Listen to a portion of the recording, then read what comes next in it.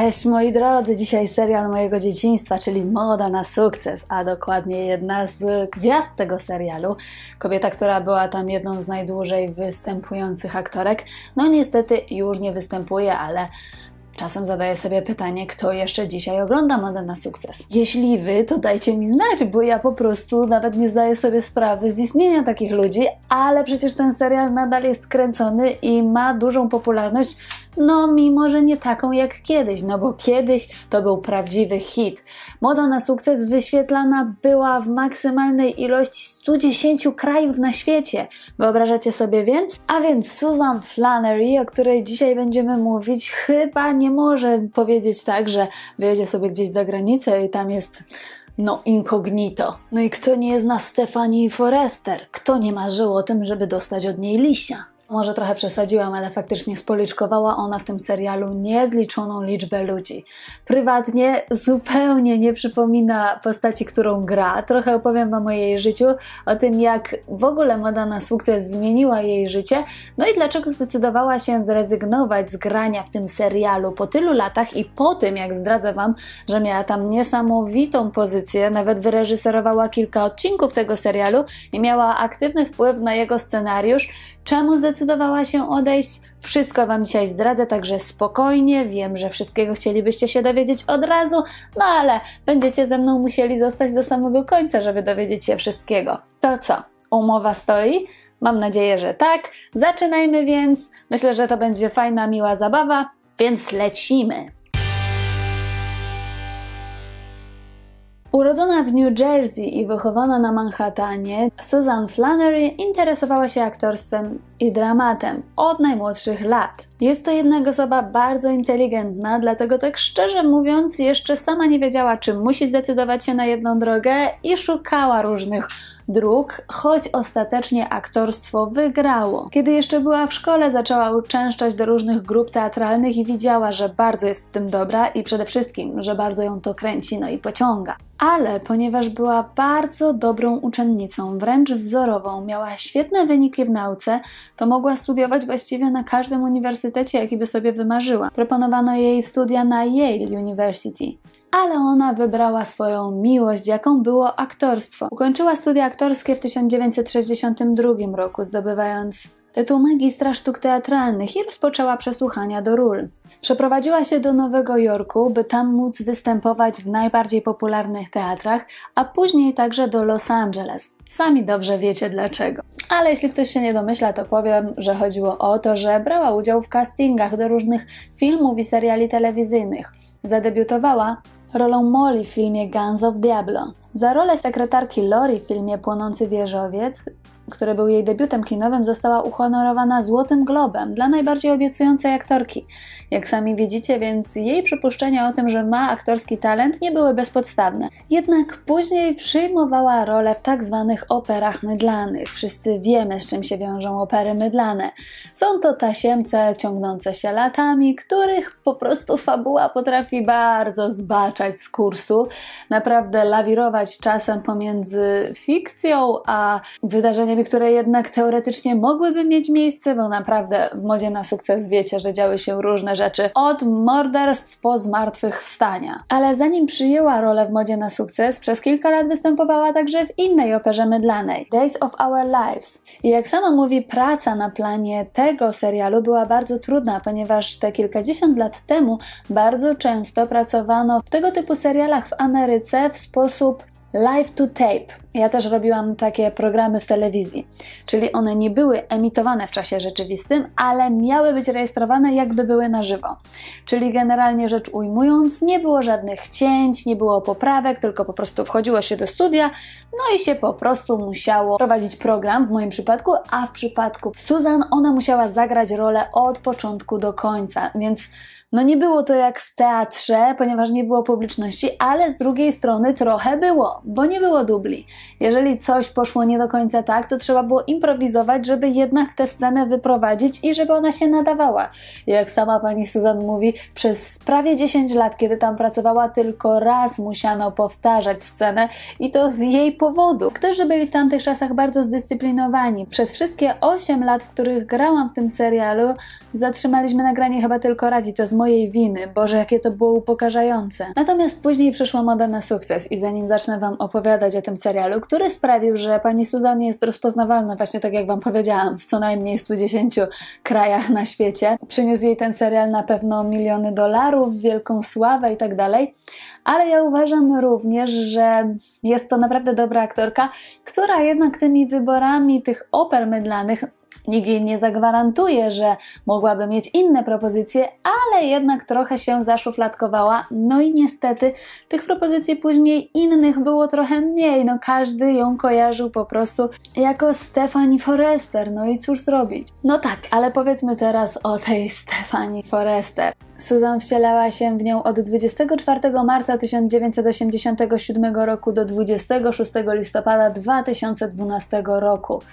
Wyreżyserowała też kilka odcinków. Więc życie Susan tak naprawdę przez wiele, wiele lat, ponad 20 lat, wyglądało tak jak nas wszystkich. Wszyscy wstajemy rano i jedziemy do roboty. No i w tym wypadku było tak samo. Susan jechała na plan, tam po prostu wśród tych wszystkich rekwizytów w specjalnie zbudowanej hali, która wyglądała jak te pomieszczenia z mody na sukces, Susan ponoć czuła się jak we własnym domu. Też nie miała w ogóle żadnego urlopu od tej bohaterki, ponieważ no oczywiście były przerwy w nagraniu, ale emisja cały czas szła. No i z biegiem czasu Susan mogła tak naprawdę oprowadzać tam wycieczki, bo wiedziała, który rekwizyt jest z którego okresu, co się gdzie znajduje i właściwie po ciemku czy y, bez udziału oczu mogłaby się tam poruszać równie sprawnie jak zwyczajnie. Prywatnie natomiast Susan jest lesbijką od wielu, wielu lat, podkreślającą ten fakt i walczącą o prawa osób homoseksualnych w Stanach Zjednoczonych. Wraz ze swoją partnerką zdecydowała się także na adopcję córki. Czytałam wiele komentarzy, że również y, za czasów, kiedy mm, Susan robiła karierę, kiedy startowała, to, że była osobą homoseksualną, mogło niestety przeszkadzać jej w zrobieniu kariery. Wiele osób podkreślało, że ich zdaniem, gdyby tak nie było, byłaby to aktorka, która mogłaby podbijać Hollywood, a niestety właśnie to stało jej na drodze. Sama aktorka ma bardzo konserwatywne poglądy, co właśnie w połączeniu jakby z jej życiem jest dość nietypowe, natomiast tak angażuje się w politykę i ma właśnie bardzo konserwatywne, tradycyjne podejście do życia. Sama aktorka podkreśla, że niektórzy aktorzy z mody na sukces byli tak zżyci ze swoimi postaciami, że nie przeszkadzało im, kiedy ktoś mówił do nich imieniem ich postaci również w życiu prywatnym. I tu nie mówię na zasadzie, że fan spotyka prawda, gwiazdę z serialu i mówi do niej właśnie tym imieniem, no bo to się zdarza, to wiemy. Ale um, Susan podkreśla, że bywali też aktorzy mody na sukces, którym nie przeszkadzało, że po prostu ktoś tak normalnie do nich mówił właśnie tym imieniem serialowym. Ona jednak nigdy w życiu tak nie miała i bardzo oddzielała to, co działo się na planie od jej życia. Dostaje sporo listów adresowanych do postaci, w której gram. Wielu miłośników serialu odczuwa taką potrzebę, ale nigdy na te listy nie odpowiadam. Wykrowana w nich rzeczywistość nie istnieje, więc lepiej nie ingerować w iluzję. Odpowiadam tylko na listy do mnie i to nie wszystkie. Moja podstawowa zasada brzmi: nie udzielam porad ale to oddzielanie życia prywatnego od tego na planie bardzo jej posłużyło, bo chociaż sama w swoim życiu przeszła nowotwór i był to dla niej bardzo trudny czas, kiedy scenarzyści zapytali delikatnie, ponieważ właśnie nie wiedzieli, czy aktorka zdecyduje się na to, żeby również jej postać była chora na raka, ona powiedziała, że nie ma z tym najmniejszego problemu. W środku lata zadzwonił brat Bell, najważniejsza persona z produkcji Mody na sukces. Zapytał, czy będę w stanie to zagrać. Początkowo chciał, żeby to był Ragielita, czyli dokładnie taki, na jaki chorowałam. Ostatecznie zrezygnowaliśmy i zdecydowaliśmy się na raka płuc połączonego z guzem mózgu. Nie miałam z tym żadnego problemu. A czy po latach nie żałowała właśnie, że ta szuflada przyszła, że to, co Wam powiedziałam, być może trochę ją zamknęło? Jak sama przekonuje, nie, ponieważ wcześniej grała już w operze mydlanej i wiedziała, z czym to się je i z czym może wiązać się obecność w serialu. Ale czy zdawała sobie sprawę, że będzie to aż taki hit? Wiedziałam, że serial może trwać nawet 30 lat. Nie byłam tylko przekonana, czy ja zabawię tu tak długo. W Ameryce niektóre seriale miały 60 czy 70-letnią historię. Powstały jeszcze w epoce radia, a potem przeszły do telewizji. I tak jak Wam powiedziałam, jeśli chodzi o opery mydlane, a w ogóle moda na sukces to już najbardziej, no to tam się dzieje w scenariuszu naprawdę grubo. Tak jak Wam powiedziałam, wszystko jest możliwe. Wracali ludzie, których już pochowano. Zresztą sama Susan bardzo się z tego śmiała. Mówiła, że były powroty bohaterek, które po prostu sprawiały, że ona wręcz na planie nie mogła czasem wytrzymać, bo wracały postacie, które po prostu były normalnie pochowane. Nie tam, że zaginęły, czy nie wiadomo, co się z nimi stało tylko po prostu umarły, a potem jednak żyły. Jednak sama mówi, że jest to zaleta, bo czasem sama miała wpływ na scenariusz, no bo wiecie, no, była tam jedną z najbardziej ważnych osób, jeśli chodzi o twórstwo ról. E, to jednak, kiedy jej to pasowało, no to czasem pytała, czy nie można by czegoś delikatnie zmienić. Przez dwa lata grałam w peruce, w końcu miałam jej dość. Poszłam do pokoju scenarzystów i powiedziałam, zróbcie coś z tym. Następnego dnia dostałam scenariusz, w którym Stefani i Sali upijają się i Sali obcina Stefani włosy. Wszystko się zgadzało. Scena pasowała do charakteru naszych postaci, a ja pozbyłam się peruki. I mimo, że przez tyle lat miała doświadczenie, to mówiła, że czasami jak czytała scenariusz, to i tak łapała się za głowę i mówiła, to nie przejdzie. A zawsze przechodziło. Wiele osób na planie mówiło, że naprawdę mimo tego, że miała ponad 70 lat, kiedy tam się pojawiała, to miała energię nastolatki, przyciągała ludzi. Jest to osoba, która naprawdę potrafi zjednywać sobie przyjaciół i wokół której zawsze jest gromada ludzi, bo po prostu jest taka pozytywna, miła i serdeczna. Tak przynajmniej przedstawiają to portale.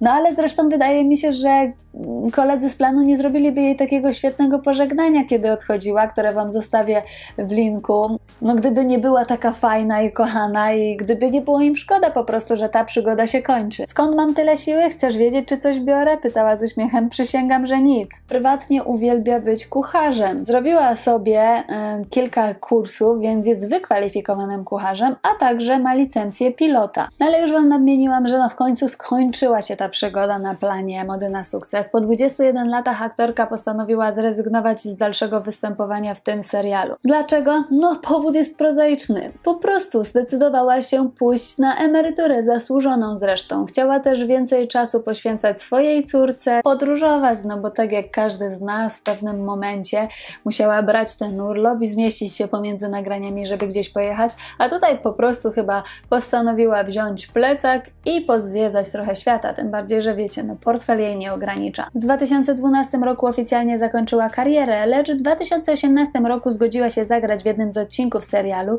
udzielając głosu podczas rozmowy z Brooke. Początkowo fani twierdzili, że jest to wyciek ze wcześniejszych odcinków, lecz produkcja potwierdziła udział Susan w tym serialu. Susan mówi, że no niestety jej zdaniem telewizja, jaką znamy, odchodzi do lamusa. Sama uwielbia serwisy streamingowe, e, w których można oglądać programy telewizyjne, a także filmy, więc nie trzeba czekać na konkretną godzinę, tylko kiedy masz ochotę, to sobie to oglądasz i przez to, że płacisz za subskrypcję, to też nie wyświetlają ci się reklamy, bo Suzan nie lubi jak się reklamy w trakcie wyświetlają. No niestety tu na YouTubie wyświetlają się, chociaż też jest opcja płatnej subskrypcji i wtedy się płaci w miesiącu jakieś tam pieniądze i wtedy reklam nie ma wcale, więc to też jest kwestia wyboru, no ale my jesteśmy przyzwyczajeni, że no jednak za free, no nie. Mi to tam nie robi różnicy, żeby e, nie było w ogóle wątpliwości, że Was namawiam na tą subskrypcję, bo nie, ale jest też taka opcja. Natomiast e, no mówi też, że po prostu opera mydlana niestety kończy się, ponieważ przyszły reality shows, czyli to, że zamyka się jednak gdzieś tam ludzi i nagrywa się ich prawdziwe życie,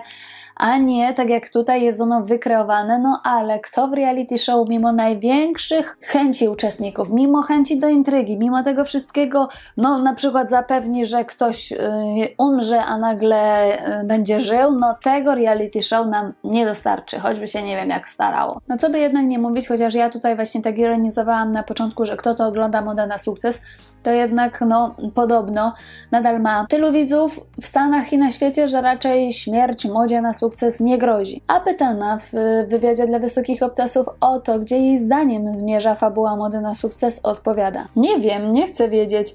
Moja podstawowa zasada brzmi nie pytać, co będzie dalej, mówiła. No cóż, być może dobrze, to takie trochę carpe diem. Co kto lubi, dajcie znać, jak wy lubicie żyć. Czy zastanawiacie się nad przyszłością, czy jednak właśnie carpe diem, czy może carpe diem tylko w niektórych sprawach, a jednak w niektórych jesteście rozsądni i przezorni. No w którą stronę pójdzie ona na sukces, to jednak może się nie zastanawiajcie. Co by nie było, bo moim zdaniem nie zgadniemy. Jak widzicie i jak sama Susan podkreślała, scenarzyści robią naprawdę niezłą robotę i czasem potrafią nas tak zaskoczyć, żebyśmy sobie w najśmielszych snach tego nie wymyślili, chociaż możecie się tak pobawić, co kogo kręci. Natomiast dajcie znać, czy być może jest jeszcze jakaś postać z mody na sukces, o której dalszych losach chcielibyście się dowiedzieć. Być może ten przystojny Rick? No nie wiem, nie sugeruję, ja będę otwarta na Wasze propozycje jak zawsze.